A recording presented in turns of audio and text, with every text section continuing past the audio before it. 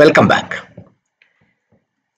Okay last uh, couple of classes we discussed about scalar couplings and gave a lot of information about how to arrive at the information how to get the information about scalar coupling in a different uh, multiplicity examples i gave. For example what how when do you call spin system as doublet of triplet triplet of quartets quarters of triplet triplets of quartets various examples we took and at the end of the last class, I also introduced what is called Pople nomenclature. It is the nomenclature used to describe the spin systems to enable the analysis of the NMR spectrum.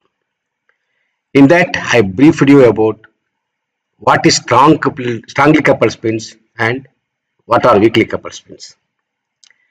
I distinguish between strongly coupled and weakly coupled spin system.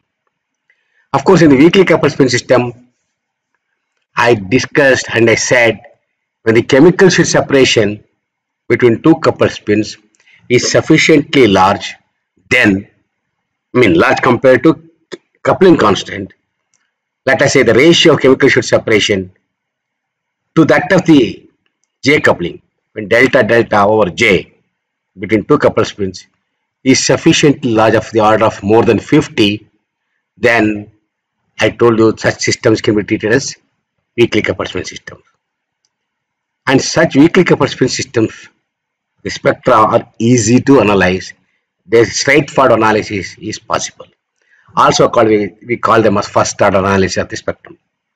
Whereas if you go to the strongly coupled spin system, the condition for which is the chemical shift separation between two coupled spins is comparable to that of the coupling constant. In other words, if I take the ratio of delta delta, that is the chemical shift separation to that of the J coupling, that is delta delta or J if you take, then I also said it so happens, then the spin system are strongly coupled and the spectra are not amenable to first order analysis. In this sense, you need to adapt different method to analyze spectra. And intensities are very well described in the weakly coupled spin systems. For example, if I take two weakly uh, two spins which are weakly coupled, A and X, we can calculate intensities and show that all of them have equal intensity. But it is not the case with strongly coupled spin system. And I also introduced the notation of Pople for the spin system when, the when they are chemically equivalent. What happens? How do you define Pople notation for a chemically equivalent spins? One thing. And I also describe the notation for the groups of chemically equivalent spins present in the molecule. For example, if you have a CH2 group, if you have a CH3 group, coupled to some other proton, how do you define the spin nomenclature? So all such examples we discussed. And now we go ahead in analyzing some of the spectrum. For example, we start with today single spin systems which gives multiple peaks. I, I gave the example of different spin system. It can be one spin system, or two coupled spin system, three coupled spin systems. And I said, what are the possible spin systems we can think of? In a single spin, of course, no question of any discussion. It has got only one spin and only two energy states, alpha and beta. Spins undergo transition between these two and then we are going to observe a single peak. And I gave several examples for that molecule like CSCl3, CFCl3, etc. And for two coupled spin systems, I told you there are three possibilities we can think of. Weakly coupled A and X, two spins are weakly coupled. Strongly coupled A, two spins which is AB. And even more strongly coupled in the sense chemical shift between two spins are exactly same. That is chemical shift between of A and X overlap and the coupling between them is not seen in the spectrum. That we can call as A2 spin system. So there are three such things possible. When I go to three coupled spin systems, I said there are 10 such spin systems we can think of. And all of them can be analyzed very easily in a different way. So there are ways of analyzing this. Today, let us start with analysis of a single spin case first, which gives multiple peaks. Right? It's something difficult to imagine also. How, for example, a single spin in a molecule can give multiple peaks. Last week I was telling you about this. Look at this. This is a simple molecule CFCl3. Now I am looking at the fluorine 19 NMR spectrum. When I'm like looking at the fluorine 19 NMR spectrum, interestingly, we got four peaks.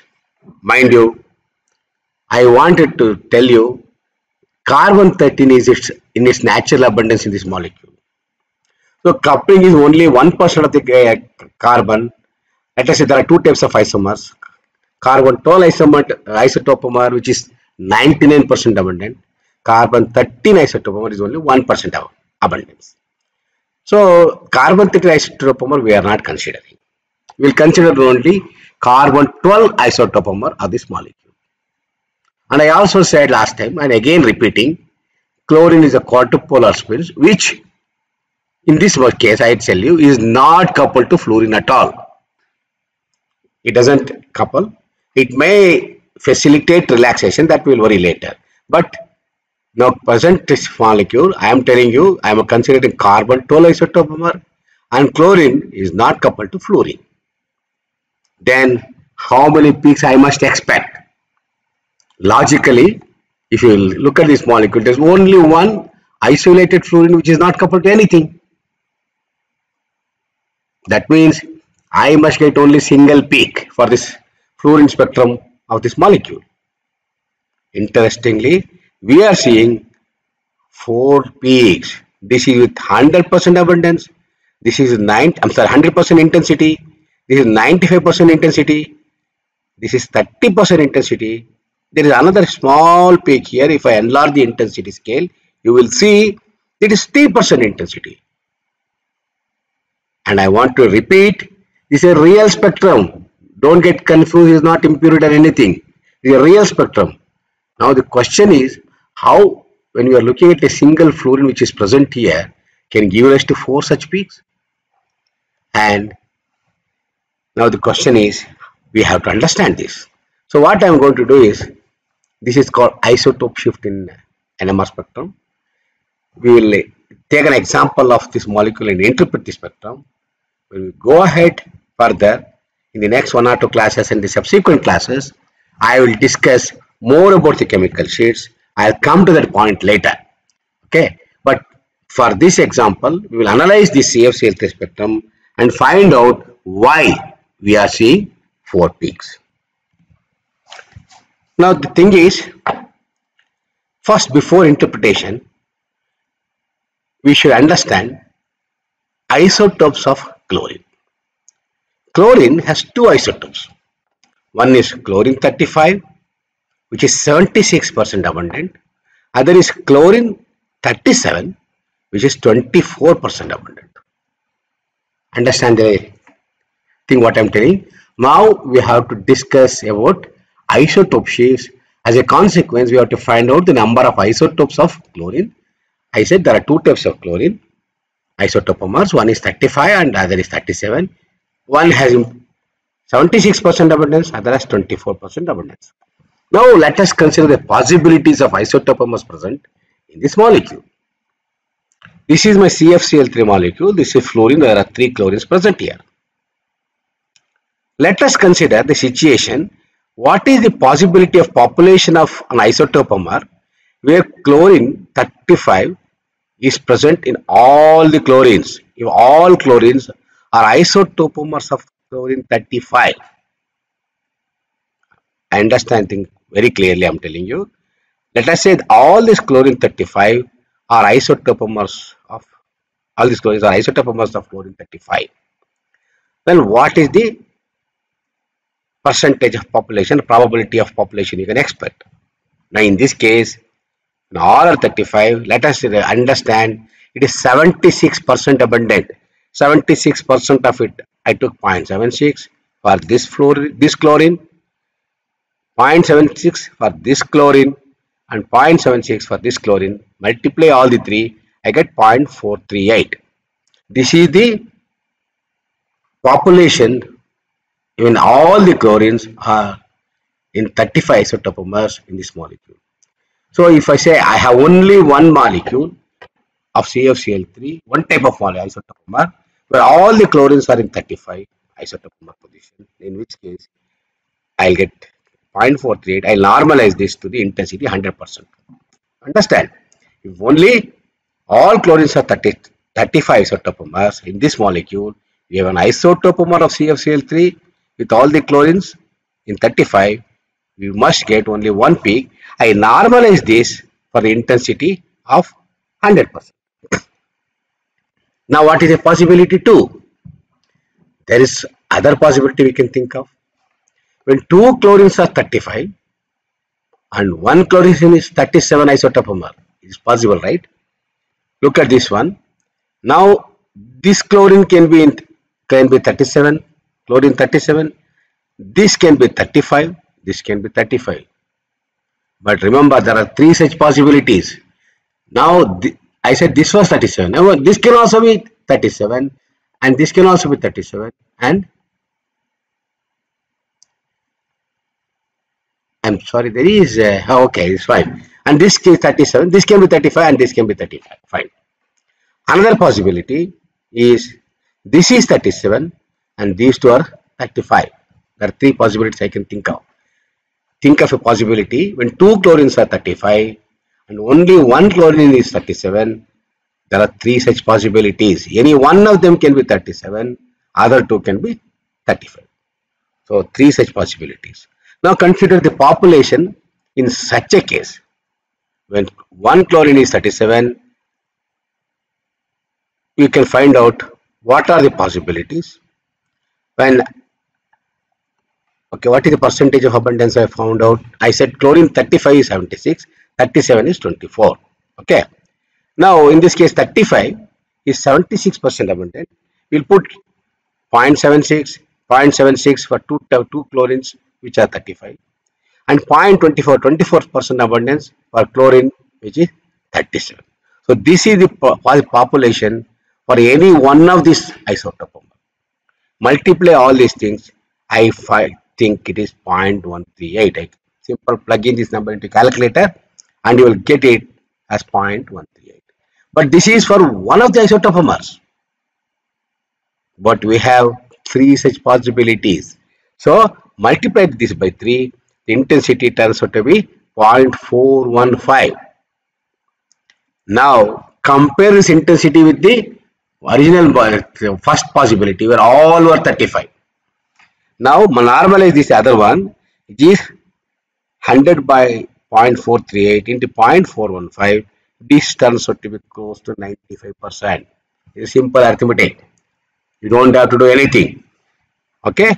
Now for all the three possibilities of the isotopomers where two chlorines are in 35 and one chlorine is 37 the population if you calculate it turns out to be 95 percent population possibility of that. Is there any other possibility we can think of for isotopomers? Yes. Now two chlorines could be 37 and one chlorine is 35 it's possible. So this is 37 this is 37 this is 35 true.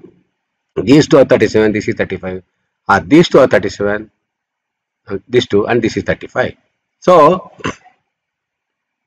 now calculate the population for this now one is chlorine 35 is 76 percent put 0.76 chlorine 37 is 24 percent abundant there are two such chlorines 0.24 into 0.24 you multiply. What did you get? 0.044 it is a simple arithmetic. This is for one type of isotopomer one isotopomer here. One possible now there are three such possibilities. Multiply by 3 you get it 0.132 now normalize the intensity of this with respect to the first one where all chlorines were 35 I took I took that as a standard for 100 percent right population where the intensity is 100 percent now normalize this with this 100 divided by 0.132 into this first uh, normalized one it turns out to be 30%. Very interesting. Now, what is the last possibility we can think of? When all the chlorines are 37, how many possibilities are there? Only one type of isotope is possible in that. Okay, all the chlorines are 35, all are same, and actually there is no need to consider this, this, and this, this, this. Now, when all the chlorines are 37, there is only one possibility, and you calculate the population of all of them 0.24 into 0.24 into 0.24, it turns out to be 0.0134. Normalize this with the situation 1 where all the chlorines were 35. Now, what is the percentage you are going to get? 3%. Now, you understood everything. There are four different types of isotopomers are possible here. When only one possibility where all the chlorines are 35, which I took as standard 100% intensity. Second, when one chlorine is 35, I'm sorry, two chlorines are 35, one is 37 we got 95% intensity. Population is 95%. When one chlorine is 35, two are 37, there are again three such possibilities. When we normalize and the intensity we obtain, it is 30%. The last possibility we can think of, all the chlorines are 37.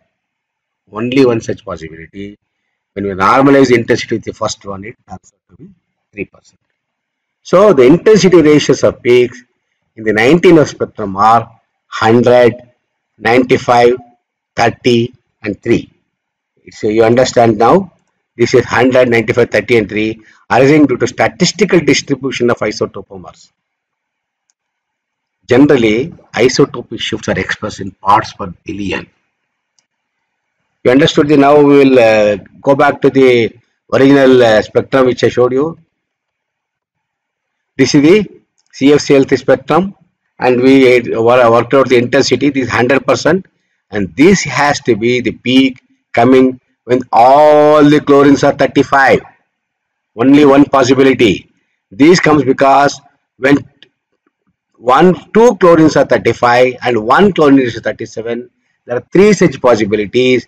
The intensity when we calculated it turns out to be 95% population.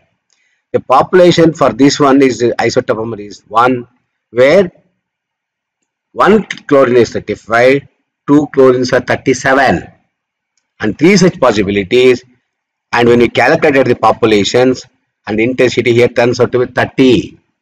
Now this is the last possibility where all the chlorines are 37 only one such possibility we got 3% intensity. Very beautifully we can understand the spectrum. Remember, it is a single spin system can give multiple peaks. This you don't get confused. The interpretation is because it is due to isotopic effect. And you find out the difference between these two. What is the difference?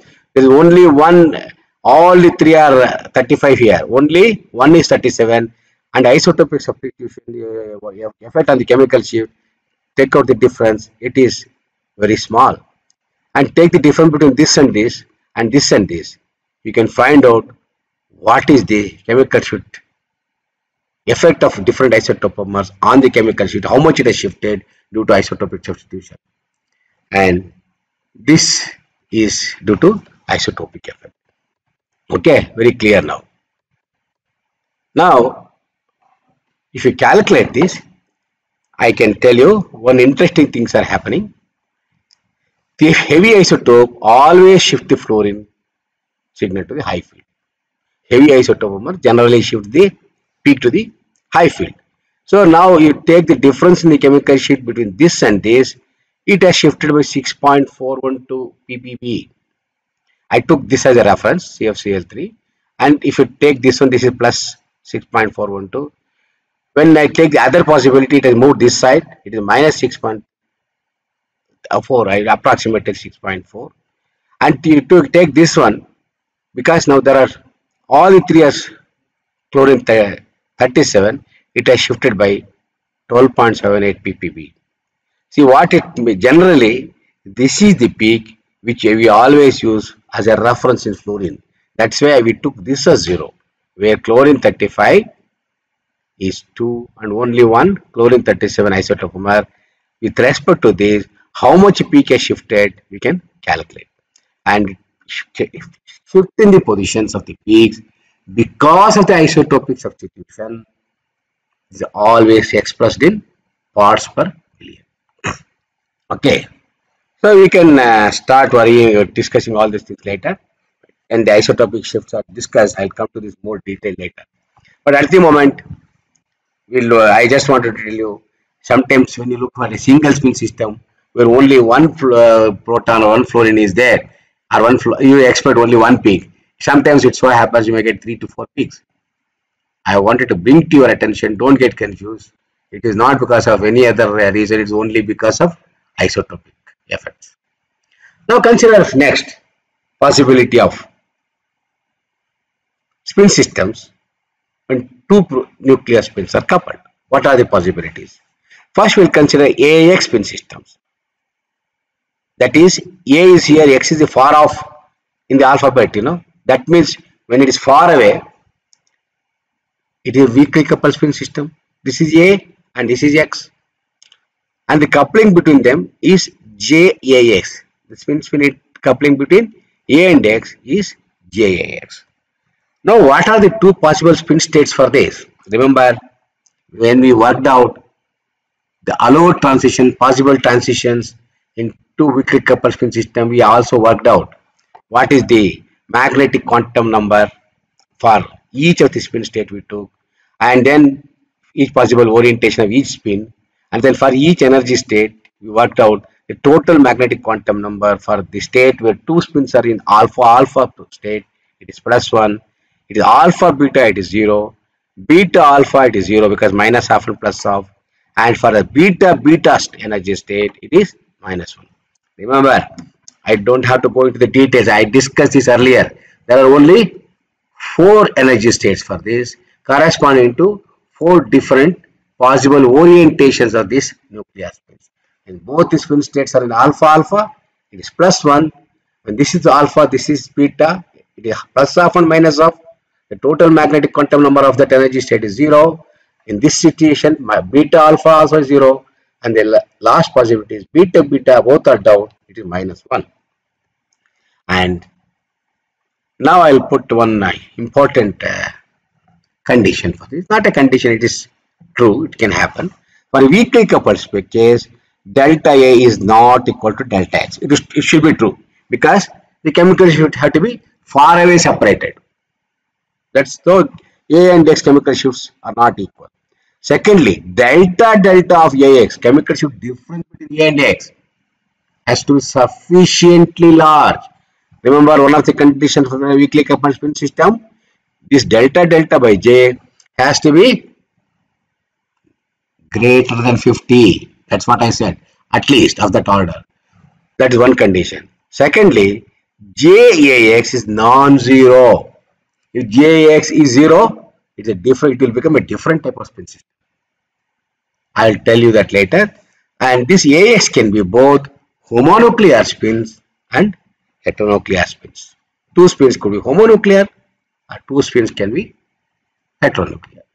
So in, the, in this case, in the AX, we also discussed earlier when two spins are coupled, weakly coupled, well dispersed doublets will be there. One doublet for A, one doublet for X. Very easily you will see two peaks uh, for each of them. And of equal intensity. Remember there is no intensity anomaly here. All of them of equal intensity we put it as a ratio 1 is to 1 is to 1 is to 1 okay four there are two weakly coupled spins. Will give rise to four peaks of equal intensity. And you do one thing analysis will become very easy. There are two peaks here and two peaks here. Center of this doublet gives you chemical shift of one of them. Center of this doublet gives you chemical shift of other one.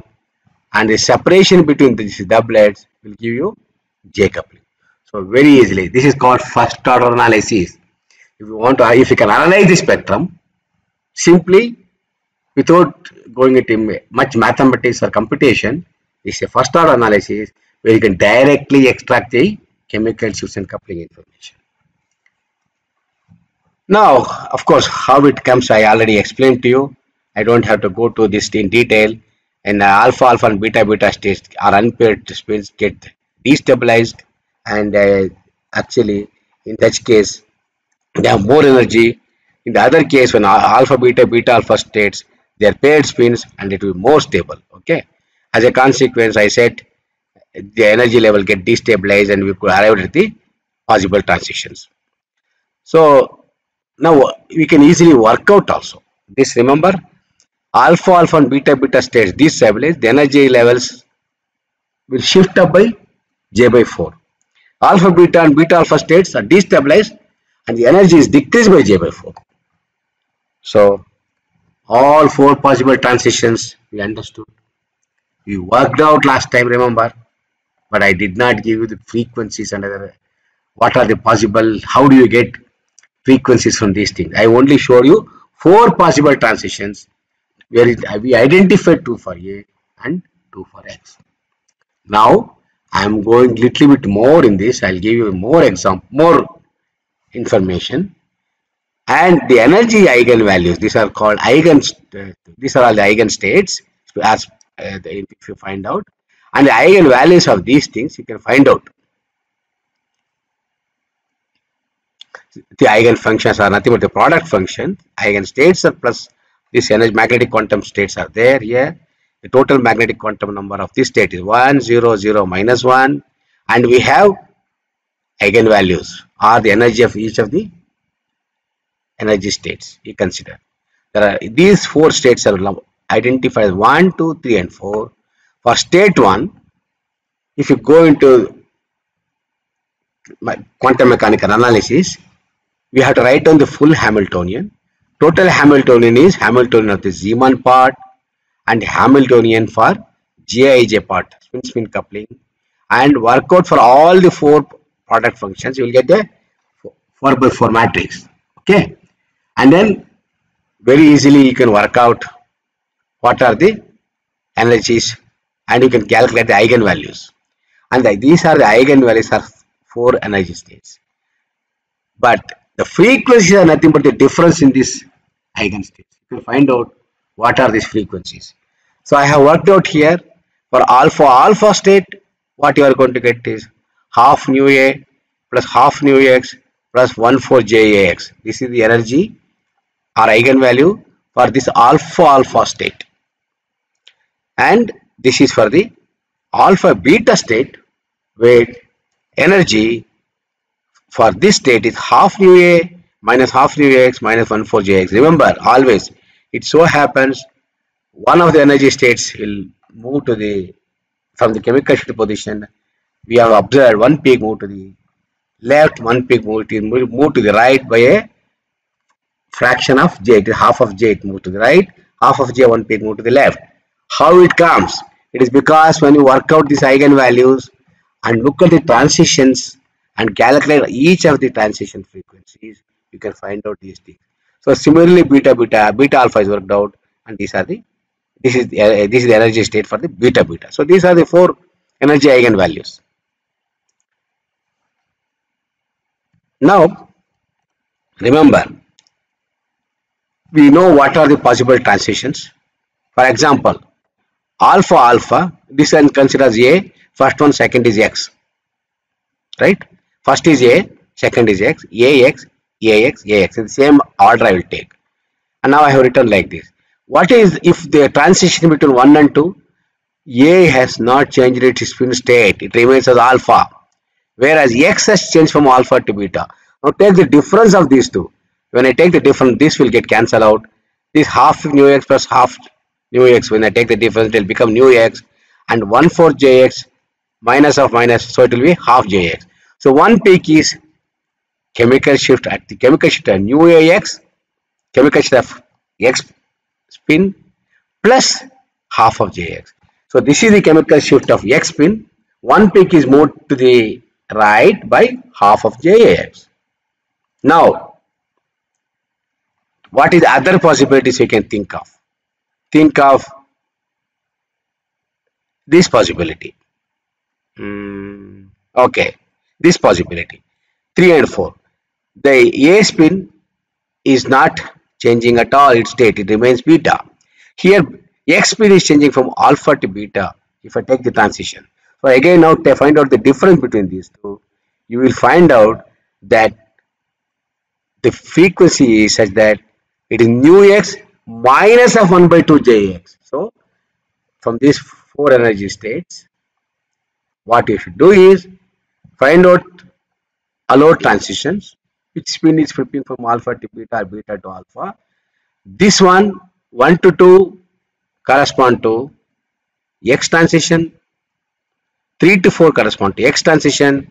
If you simple arithmetic, if you do find out the difference of these things, you will find from the chemical shift of nu x, one peak has moved to the right by half of j, one peak has moved to the left by half of j. So it is split into a doublet. Central peak will not be there. So now without coupling, it, there was one peak. Now because of uh, coupling, it split into two, where one moved to the half of jx, one moved to the left, which is half of jx. So totally, the separation of this, if you measure, it is jax. Same way, now we look at 1 and 3, where A spin is changing state, but alpha, it Bx remains alpha. Now 2 and 4, if you take again, A spin is changing state from alpha to beta, but the X spin is remaining same. The state is not getting changed. Understood the logic now? So that way we can work out all the possible transitions like this. I don't have to go to this. This I described in one of the classes. Now difference in the eigenvalues when you work out like this, I took the difference in the values between first state and second state. This is nu x plus half jx. And between 1 and 2, and difference between this is 3 and 4. Not this is 1 and 2. I'm sorry, this is 3 and 4. Then it turns out to be nu x minus half jx. You understand? I took the eigenvalues. I would. I will. I gave you the list all the four possible eigenvalues for each state. First and two, if you take the difference, you get this, and three and four here, you will get this thing. So that means these were we identified as X transitions. So from with from the chemical shift of the X spin, there is one peak at half of Jx, there is another peak at half of Jx. So minus half of Jx. So we will get doublet centered at chemical shift of X and whose separation correspond to Jx. Same way you can do that for 1 and 3 and 2 and 4. Now you will get the frequency for A and one peak is shifted from the chemical shift of A by half Jx to the one side and other peak is shifted from the chemical shift of A by half Jx on other side. So that means for each of these nuclear spins split into doublets and you get doublets of equal intensity separated by Jx. This is what I wanted to say. This is what we observed. 1, 2 and 3, 4 transitions correspond to X with this separation. 2, 4 and 1, 3 transitions correspond to A with this is the separation. Always center this doublets gives you chemical shift of A here. This center of the doublet gives you chemical shift of A. Uh, X. So now analyze the two coupled spin system A and X which are very well separated, weakly coupled is very easy to interpret. Okay, it gives four lines of equal intensity. Get the center, you get chemical shift of this. Get this center, get the chemical shift of this. Simply measure one of these separations, we get JAX. Okay, and we can also calculate the transition intensities. Okay, the transitions intensities in this case for all of them say ia1 ia1 ia2 ix ix2 these are the intensities for each of the transitions but without working more into the details again we can do quantum mechanical calculations i'm telling you all ia1 ia2 intensity of a1 and a2 intensity of x1 and x2 are same. So the ratio. 1 is to 1 is to 1 is to 1 the summary of AX spin system is such that when two spins are coupled, weakly coupled, you have four transitions, two for A, two for X, which is called AX spin system in the proper nomenclature. Separation of Any of these doublets will give you J coupling. Center of each doublet gives you chemical strength. You got the point how to analyze the AX spin system. And all of them are equal intensities. This is a very important thing you should remember. Very easy to analyze two spin spectrum. You can get work out detailed quantum mechanical calculations you can make. But it's a cumbersome work, it takes a lot of time. I am giving you just an idea how to analyze. So what we will do, so we will stop today and then continue tomorrow with the analysis of one, one or two strongly coupled case like ABA A2 spin and an example of three spins weakly coupled before we start the analysis of some other spectra.